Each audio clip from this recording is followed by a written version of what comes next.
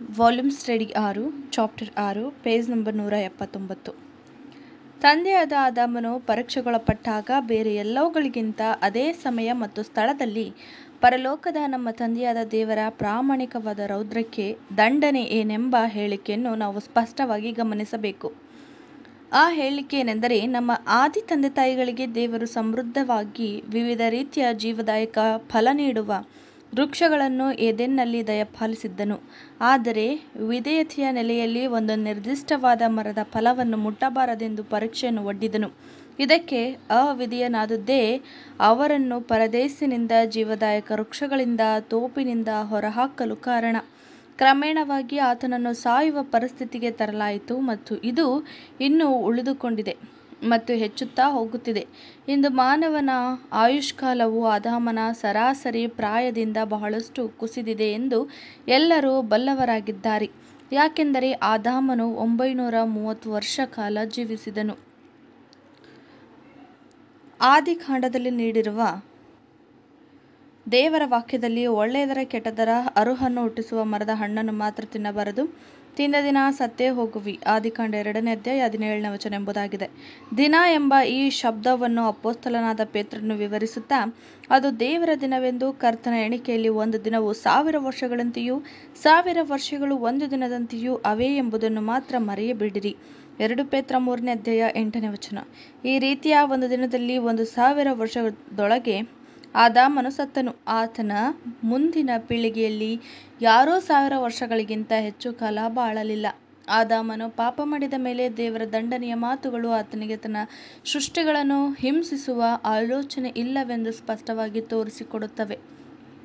ಶಾಪವು ಪ್ರಸ್ತುತ ಜೀವನವನ್ನು ನಾಶಗೊಳಿಸುವುದಕ್ಕಿಂತ ಮತ್ತು ಮರಣ ಸ್ಥಿತಿಗೆ ಸಂಬಂಧಿಸಿದ ಸಂಭವನೀಯವಾದ ನರಳಾಟ ಇವುಗಳನ್ನು ಮೀರಿ ಹೋಗಿರುವುದಿಲ್ಲ. ಆದಾಮನಿಗೆ ದೇವರು ನೀಡಿದ ಶಾಪದ ಹೇಳಿಕೆನೆಂದರೆ, ನೀನು ತಿರುಗಿ ಮಣ್ಣಿಗೆ ಸೇರುವ ತನಕ ಬೆವರಿಡುತ್ತಾ ಬೇಕಾದ ಆಹಾರವನ್ನು ಸಂಪಾದಿಸಬೇಕು. ನಿನ್ನ ಮಣ್ಣಿನಿಂದ, ನೀನು ಮಣ್ಣಿನಿಂದ ತೆಗೆಯಲ್ಪಟ್ಟವನಲ್ಲವೋ, ನೀನು ಮಣ್ಣೆ, ಪುನಃ ಮಣ್ಣಿಗೆ ಸೇರತಕ್ಕವನಾಗಿದ್ದಿ. ಆದಿಕಾಂಡ ಎರಡನೇ ಅಧ್ಯಾಯ ಹದಿನೇಳನೇ ವಚನ, ಆದಿಕಾಂಡ ಮೂರನೇ ಅಧ್ಯಾಯ ಹತ್ತೊಂಬತ್ತನೇ ವಚನ ಹಾಗೂ ಎರಡು ಪೇತ್ರ ಮೂರನೇ ಅಧ್ಯಾಯ ಎಂಟನೇ ವಚನ. ನಿತ್ಯವಾದ ಬಾಧೆ. ಅದರ ದಂಡನೆಯೊಡನೆ ನಮ್ಮ ಆದಿ ತಂದೆ ತಾಯಿಗಳಿಗೆ ಮಾತ್ರವಲ್ಲ ಅವರ ಎಲ್ಲ ಸಂತಾನದವರ ಮೇಲೂ ಪರಿಣಾಮವನ್ನುಂಟು ಮಾಡುತ್ತದೆ ಎಂಬ ದಾರುಣವಾದ ಸಿದ್ಧಾಂತವು ಸುಳ್ಳು ಎಂದು ಗ್ರಹಿಸುವುದು ಬಹಳ ಸಂತೋಷಕ್ಕೆ ಕಾರಣವಾಗುತ್ತದೆ. ಈ ಸಿದ್ಧಾಂತವು ಸತ್ಯವೇದ ಮೂಲಕ ಬಂದುದಲ್ಲ ಆದರೆ ಕತ್ತಲೆಯ ಯುಗದಿಂದ ಬಂದದ್ದಾಗಿದೆ. ಕರ್ತನ ಪ್ರಕಟನೆಯ ಯಾವ ಮಾತುಗಳಲ್ಲಿಯೂ ಇಂತಹ ಅರ್ಥವು ಕಂಡುಬರುವುದಿಲ್ಲ.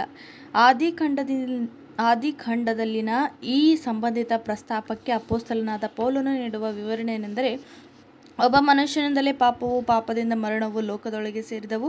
ಎಲ್ಲರೂ ಪಾಪ ಮಾಡಿದ್ದರಿಂದ ಮರಣವು ಹೀಗೆ ಎಲ್ಲರಲ್ಲಿಯೂ ವ್ಯಾಪಿಸಿತು. ರೋಮಪುರದವರಿಗೆ ಐದನೇ ಹನ್ನೆರಡನೇ ವಚನ.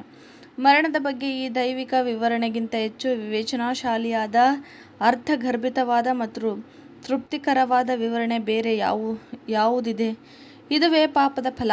ನಮ್ಮ ಮೂಲ ತಂದೆ ತಾಯಿಯ ಆ ಮೂಲ ತಂದೆಯಾದ ಆದಾಮನು ಪರೀಕ್ಷೆಗೊಳಗಾಗ ಒಳಗಾದಾಗ, ತನ್ನ ಅವಿಧೇಯತೆಯ ಕಾರಣ ತನ್ನೆಲ್ಲ ಸೌಕರ್ಯಗಳನ್ನು ಕಳಕೊಂಡನು ಮತ್ತು ರೋಗ, ವೇದನೆ, ತೊಂದರೆ ಮತ್ತು ಮರಣ ಮುಂತಾದ ಶಾಪಕ್ಕೊಳಗಾದನು. ನಾವು ಯಾವ ಪರೀಕ್ಷೆಗೂ ಒಳಗಾಗದೆ ಪಾಪಭರಿತವಾದ ಪ್ರವೃತ್ತಿ ಮತ್ತು ಬಲಹೀನತೆಯನ್ನು ಆನುವಂಶಿಕವಾಗಿ ಪಡೆದಿರುವ ನಮಗೆ ಈ ಪರೀಕ್ಷೆಯನ್ನು ಪ್ರಯೋಜನಕವಾಗಿದೆ. ದೇವರ ಈ ದಂಡನೆಯಲ್ಲಿ ಅಂದರೆ ಮರಣದಲ್ಲಿ ಪಾಲುಗಾರರಾಗಿದ್ದೇವೆ.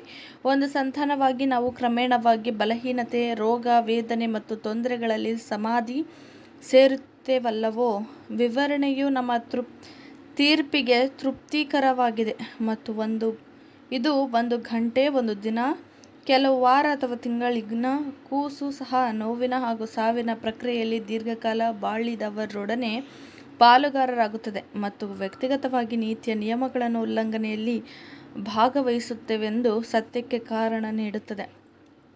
ಹುಟ್ಟಿನಂದಿನಿಂದಲೂ ನಾನು ಪಾಪಿಯೇ ಮಾತೃ ಗರ್ಭ ಗರ್ಭವನ್ನು ಹೊಂದಿದ ದಿನದಿಂದಲೂ ದ್ರೋಹಿಯೇ ಕೀರ್ತನೆ ಐವತ್ತೊಂದನೇ ಅಧ್ಯಾಯ ಐದನೇ ವಚನ ಎಂಬುದು ಈ ಅಂಶದ ಬಗ್ಗೆ ಸತ್ಯವೇದದ ಪ್ರಕಟಣೆ.